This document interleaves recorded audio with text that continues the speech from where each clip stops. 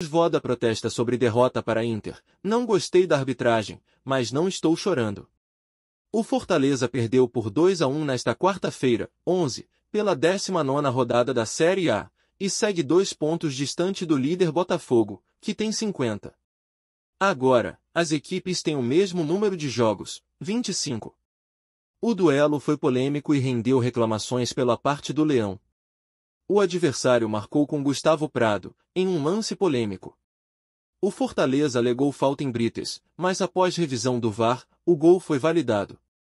Vosvoda cobrou uma revisão mais detalhada. O resumo é esse. Não começamos bem na partida, o Inter foi superior até o gol do time.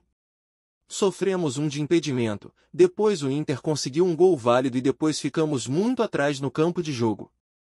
Não tínhamos a pressão que precisávamos, depois reagimos com um gol, criamos finalizações e terminamos bem o primeiro tempo. Acho que o primeiro tempo foi uma parte deles e outra nossa. No segundo tempo, foi uma partida equilibrada, não estivemos tanto atrás quanto no primeiro tempo, Quanto à arbitragem eu senti um desconforto da minha equipe por decisões pequenas, uma discussão com Pikachu, amarelos com discussão, afirmou. Isso não gostei da arbitragem.